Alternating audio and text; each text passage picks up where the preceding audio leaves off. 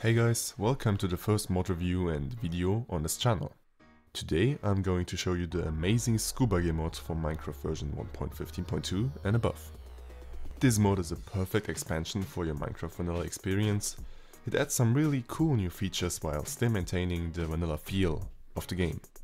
The mod adds Scuba Gear, which grants you different abilities to your Minecraft world. The equipment consists of the four Minecraft armor pieces. The helmet grants water breathing to anything that wears it. The chestplate allows you to mine at around normal speed while underwater.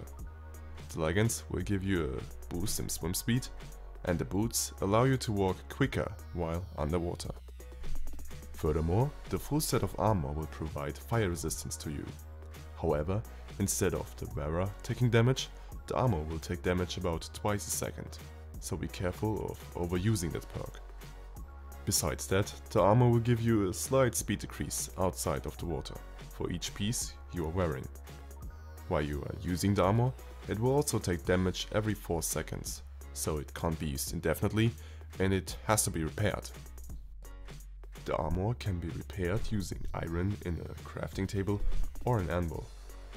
You can obtain the armor by drowned mobs that spawn within 15 blocks of an ocean ruin.